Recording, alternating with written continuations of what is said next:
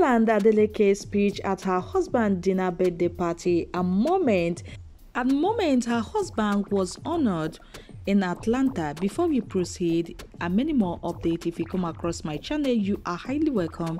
Please kindly share our video with your loved ones, subscribe and turn on your notification bell. God bless you all. One love. It is a double blessing for popular Afrobeat singer Davido as they mark his birthday. The Afrobeat singer has been honored by Atlanta and Georgia with a day dedicated to praising him.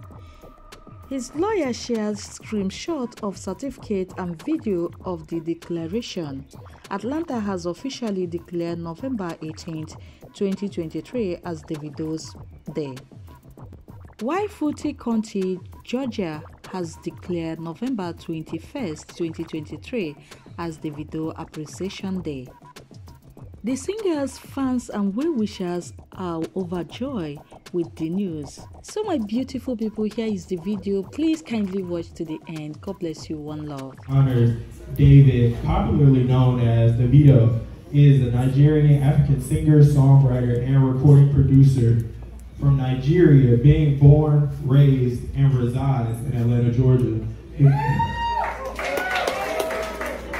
Davido has amassed over 3 billion global streams and over 1.5 global video views across his 11-year career and is founder of one of the most successful independent labels in Africa.